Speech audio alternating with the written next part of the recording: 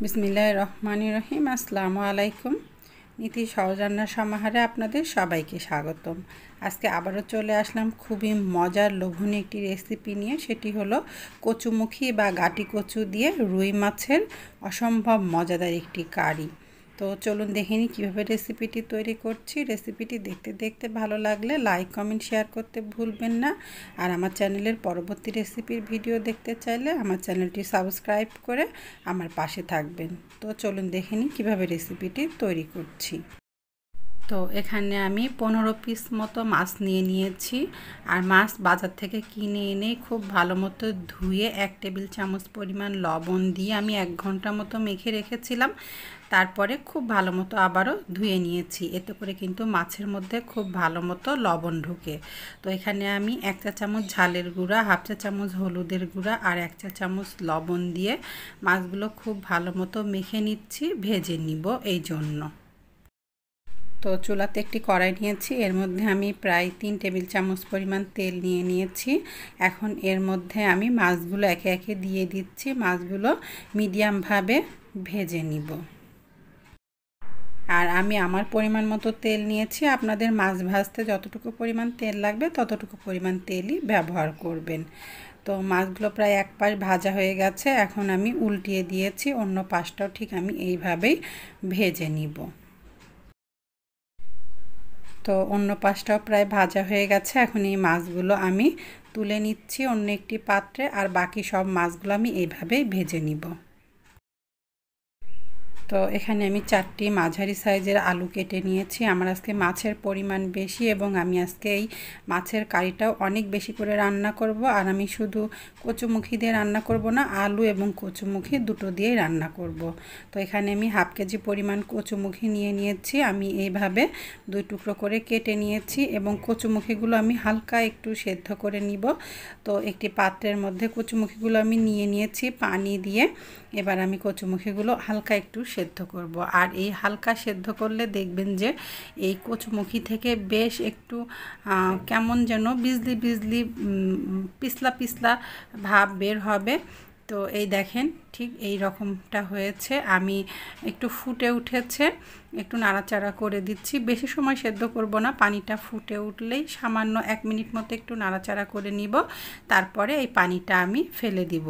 আর এভাবে একটু সেদ্ধ করে নিলে কিন্তু তরকারির ঝোলটা অনেক বেশি ঘন থকথকে হয় না। এই কচু থেকে যে এই পানিটা বের হয়, এটা যদি সেদ্ধ করে ফেলে দেওয়া যায়, তাহলে কিন্তু তরকারির ঝোলটা খুব সুন্দর হয়। তো এখন আমি সেদ্ধ করে নিয়ে পানিটা ফেলে দিচ্ছি। এবার খুব ভালো মতো আমি কচুমুখিগুলো ধুয়ে নিচ্ছি। আমি আবারও বলছি, আপনারা যদি এইভাবে সেদ্ধ করে নিতে চান তো নিতে পারেন, না নিতে চাইলে সরাসরি কচুমুখি দিয়ে আপনারা রান্না করতে পারেন। তো এখানে আমি ছয় টেবিল চামচ পরিমাণ তেল দিয়ে দিলাম। মাছ ভাজার যে তেলটা একটু বেঁচে ছিল, সেই তেলটাও আমি এর সাথে মিশিয়ে নিয়েছি। এখন এখানে আমি দিয়ে দিলাম এক কাপ পরিমাণ পেঁয়াজ কুচি।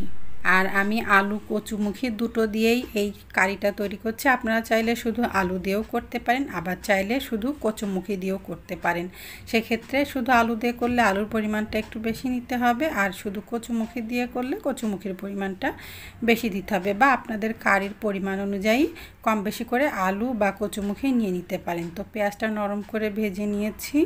এখন এখানে আমি দিয়ে দিয়েছি তিন চা চামচ পরিমাণ ঝালের গুঁড়া, দুই চা চামচ পরিমাণ হলুদের গুঁড়া দুই চা চামচ পরিমাণ ধনিয়া গুঁড়া আর এক টেবিল চামচ পরিমাণ লবণ সব কিছু আমি এর মধ্যে দিয়ে দিচ্ছি। এবার আমি সব কিছু একসাথে খুব ভালো মতো নাড়াচাড়া করে মিশিয়ে নিচ্ছি আর চুলার জালটা কিন্তু রয়েছে মিডিয়াম লোতে। এখন এর মধ্যে আমি দিয়ে দিলাম তিন টেবিল চামচ পরিমাণ আদা রসুন বাটা, আদা বাটা হাফ টেবিল চামচ পরিমাণ, রসুন বাটা আড়াই টেবিল চামচ পরিমাণ। এখন এটা দিয়েও একটু নাড়াচাড়া করে মিশিয়ে নিচ্ছি। চুলার জালটা মিডিয়াম লোতে রেখে ছয় সাত মিনিট আমি এভাবে মশলাটা কষিয়ে নিচ্ছি। তো কোনো রকম পানি না দিয়ে চুলার জালটা মিডিয়াম লোতে রেখে আমি প্রায় সাত মিনিট মতো মশলাটা কষিয়ে নিয়েছি। আপনারা এভাবে মশলাটা কষিয়ে নিতে যে যদি দেখেন তলায় হালকা একটু লেগে আসছে, তো সামান্য সামান্য পানি দিয়ে মশলাটা কষিয়ে নিতে পারেন। তবে একবারে বেশি পানি দিবেন না। তো এখন এর মধ্যে আমি এক কাপ পরিমাণ পানি দিয়ে দিলাম। দিয়ে আবারও মশলাটা আমি কষিয়ে নিব। এই পানিটা একেবারে কমে যাওয়া পর্যন্ত। তো পানিটা দেখেন বেশটা কমে গেছে, বেশ তেল তেল উঠে এসেছে। একটু নাড়াচাড়া করে দিচ্ছি। এখন এর মধ্যে আলু আর কচুমুখি ঢেলে দিব। তো এখন মশলার সাথে কচু আর আলু খুব ভালো মতো আমি মিশিয়ে নিচ্ছি। আর এখন চুলার জালটা মাঝারিতে রেখে ঢাকনা না দিয়েই কিছু সময় আমি এই আলু আর কচু মশলার সাথে একটু নাড়াচাড়া করে কষিয়ে নিব। মশলাটা একেবারে শুকিয়ে যাওয়া পর্যন্ত বা মশলাতে কোনো পানি না থাকা পর্যন্ত খুব ভালো মতো নাড়াচাড়া করে আমি এই কচু আর আলু মশলার সাথে কষিয়ে নিব। তো প্রায় তিন চার মিনিট মতো আমি মশলার সাথে আলু আর কচু এক একসাথে কষিয়ে নিয়েছি।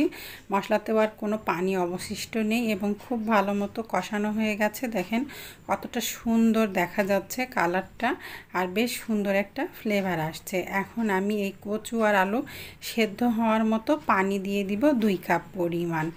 আর এখন এই পানিটা দিয়ে আমি ঢাকনা দিয়ে ঢেকে এটি হতে দিব আলু আর কচু পুরোপুরিভাবে সেদ্ধ হয়ে যাওয়া পর্যন্ত। তো বেশ কিছু সময় হয়ে গেছে, আমি ঢাকনা খুলে দুই একবার নাড়াচাড়া করে দিয়েছিলাম। আলু আর কচু খুব ভালো মতো সেদ্ধ হয়ে গেছে। এখন আমি ঝোলের পানি দিয়ে দিলাম। এখানে আমি তিন কাপ পরিমাণ পানি দিয়ে দিলাম। আর আপনারা আপনাদের পরিমাণ অনুযায়ী পানিটা কম বেশি করে দিয়ে নিতে পারেন। এখন আমি এর মধ্যে ভেজে রাখা মাছগুলো সব একে একে দিয়ে দিচ্ছি। আর আরেকটি কথা, ঝোলের পরিমাণের পানিটা কিন্তু আপনারা একটু বেশিই দিবেন এবং নামাবেন একটু একটু বেশি ঝোল রেখে, কারণ কচুতে কিন্তু অনেকটা পানি টেনে নেয়। এই দিকটা একটু খেয়াল রাখবেন। তো আমি সব মাছগুলো মাছে তরকারির মধ্যে একে একে দিয়ে দিচ্ছি। তো মাছগুলো সব দেওয়া হয়ে গেছে প্রায়। এখন ঢাকনা দিয়ে ঢেকে এটেমি হতে দিচ্ছি বেশ কিছু সময়ের জন্য। তো প্রায় পাঁচ মিনিট মতো হয়ে গেছে ঝোলটাও কিছুটা কমে গেছে। এখন এর মধ্যে আমি চারটি কাঁচামরিচ মাঝখান থেকে ভেঙে দিয়ে দিয়েছি, চারিদিক থেকে ছড়িয়ে দিলাম। আর দিয়ে দিচ্ছি কিছুটা পরিমাণ ওয়ান ফোর্থ কাপ পরিমাণ বা আপনাদের পরিমাণ অনুযায়ী ধনিয়া পাতা ওপর দিয়ে দিয়ে দিচ্ছি। তবে আপনাদের কারোর ধনিয়া পাতা দিতে ইচ্ছা চাইলে দিবেন, না হলে বাদ দিতে পারেন। চাইলে এখানে ভাজা জিরার গুঁড়াটাও দিতে পারেন। ঢাকনা দিয়ে ঢেকে দুই মিনিটের জন্য হতে দিচ্ছি। তো দুই মিনিট মতো হয়ে গেছে। তরকারিটাও খুব সুন্দরভাবে হয়ে গেছে। এখন আমি চুলাটা বন্ধ করে দিচ্ছি এবং আপনাদেরকে আমি পরিবেশন করে দেখাচ্ছি। ভীষণ লোভনীয় এবং ভীষণ মজার খেতে হয় এই গাটি কচু দিয়ে বা কচুমুখি দিয়ে রুই মাছের ঝোলটা। আমি আবারও বলছি, অবশ্যই অবশ্যই ঝোলের পরিমাণটা একটু বেশি রেখে নামাবেন, নতুবা কিন্তু কচুতে পানি অনেকটাই টেনে নেয়। তো সবসময়ের মতো আমার আজকের রেসিপিটিও ভালো লাগলে লাইক কমেন্ট শেয়ার করতে ভুলবেন না। আর আমার চ্যানেলের পরবর্তী রেসিপির ভিডিও দেখতে চাইলে আমার চ্যানেলটি সাবস্ক্রাইব করে পাশে থাকা বেল আইকনটি প্রেস করে অল প্রেস করে দিবেন। তাহলে আমি নতুন নতুন রেসিপির ভিডিও আপলোড করলে আপনারা সাথে সাথে নোটিফিকেশন পেয়ে যাবেন। তো আজকের মতো আমি এখানেই রাখছি। আসসালামু আলাইকুম। আল্লাহ হাফেজ।